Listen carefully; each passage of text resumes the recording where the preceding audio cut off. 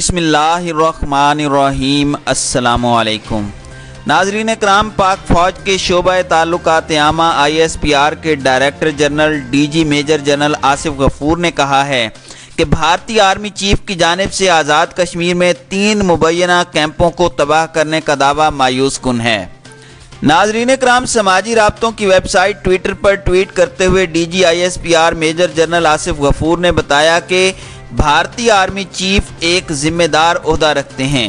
ان کی جانب سے آزاد کشمیر میں تین مبینہ کیمپوں کو تباہ کرنے سے متعلق دعویٰ مایوس کن ہے۔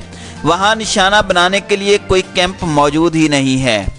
D G I S P R نے مزید کہا کہ پاکستان میں موجود بھارتی سفارت خانے کو دعوت دیتے ہیں کہ کسی بھی غیر ملکی سفارتکار اور میڈیا کے نمائندے کے ساتھ دورہ کر کے اس دعوے کو ثابت کر کے دکھائے۔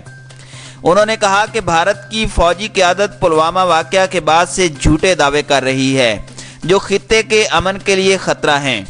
بھارتی فوج کی جانب سے ایسے جھوٹے دعوے اندرونی مفادات کی خاطر کیے جا رہے ہیں، جو پیشہ ورانہ فوجی اخلاقیات کے خلاف ہیں۔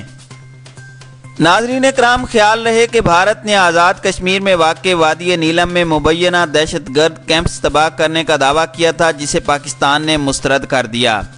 دفتر خارجہ نے بھی بھارتی میڈیا کی جانب سے لائن آف کنٹرول پر دہشت گردوں کے ٹھکانے کو نشانہ بنانے کی رپورٹس مسترد کی ہیں۔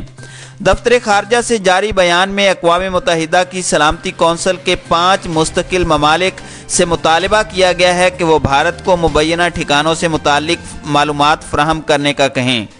ناظرین کرام، اس حوالے سے جاری بیان میں دفتر خارجہ نے اقوام متحدہ کی سلامتی کونسل کے پانچ مستقل ممالک کے سفارتکاروں کو بھارت کا جھوٹ بے نقاب کرنے کے لیے ان مقامات کا دورہ کروانے کی خواہش کا اظہار کیا۔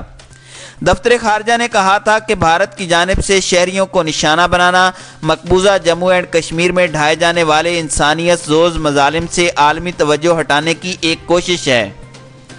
ناظرین کرام، دوسری جانب آزاد جموں اینڈ کشمیر کے وزیر اعظم راجہ فاروق حیدر نے سماجی رابطے کی ویب سائٹ ٹویٹر پر کیے گئے ٹویٹ میں کہا تھا کہ آزاد کشمیر میں رات گئے کی جانے والی شیلنگ میں کسی تربیتی کیمپ کو تباہ کرنے کا بھارتی دعویٰ بالا کوٹ حملے کے دعوے جتنا جھوٹا ہے۔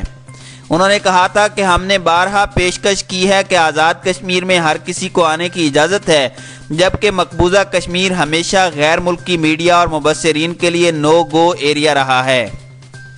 ناظرین اکرام، واضح رہے کہ آزاد جموں اینڈ کشمیر میں لائن آف کنٹرول پر بھارتی فوج کی بلا اشتعال شیلنگ کے نتیجے میں پاک فوج کا ایک جوان اور چھ شہری شہید ہو گئے تھے۔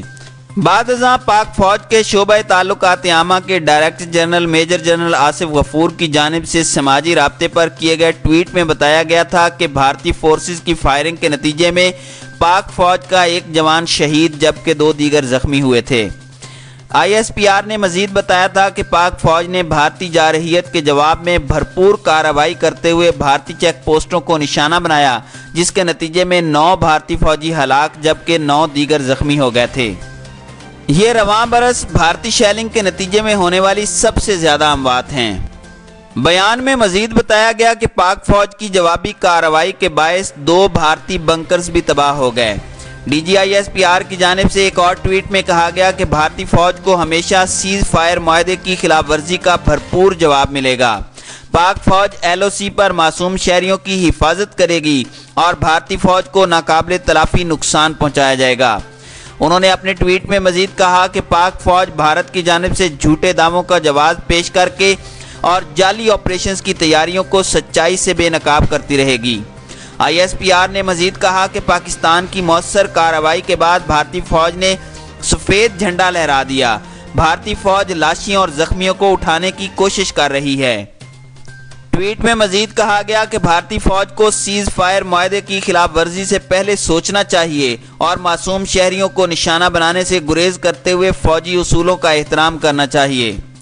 ناظرین اکرام، دوسری جانب ایل او سی پر بھارتی فورسز کی بلا اشتعال شیلنگ کے نتیجے میں شہریوں کی ہلاکت کی تصدیق کرتے ہوئے آزاد کشمیر کے وزیر اعظم راجہ فاروق حیدر نے کہا کہ یہ صفاقیت کی انتہا ہے۔ دنیا کو اس پر خاموش نہیں رہنا چاہیے۔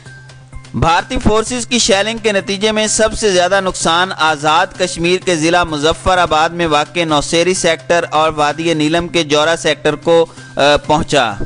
مظفر آباد کے ڈپٹی کمشنر بدر منیر نے کہا کہ شیلنگ رات میں شروع ہوئی تھی اور اس کی شدت بہت زیادہ تھی۔ انہوں نے کہا کہ بھارتی فوج نے مارٹر گولوں کا استعمال کیا اور شہری آبادیوں کو نشانہ بنایا۔ علاوہ ازیں سوشل میڈیا پر ویڈیوز پوسٹ کرنے والے رہائشیوں نے بتایا کہ بھارتی فوج کی جانب سے بھاری ہتھیار بھی فائر کیے گئے۔ ناظرین کرام، واضح رہے کہ ایل او سی پر جنگ بندی کے لیے دو ہزار تین میں پاکستان اور بھارتی افواج کی جانب سے ایک دس، ایک معاہدے پر دستخط کیے گئے تھے۔ تاہم، اس کے باوجود جنگ بندی کی خلاف ورزی کا سلسلہ وقفے وقفے سے جاری ہے۔ حکام کے مطابق رواں برس ایل او سی پر بھارتی فوج کی جارحیت کے نتیجے میں آزاد جموں اینڈ کشمیر میں سنتالیس افراد شہید اور دو سو چھتیس سے زائد زخمی ہو چکے ہیں۔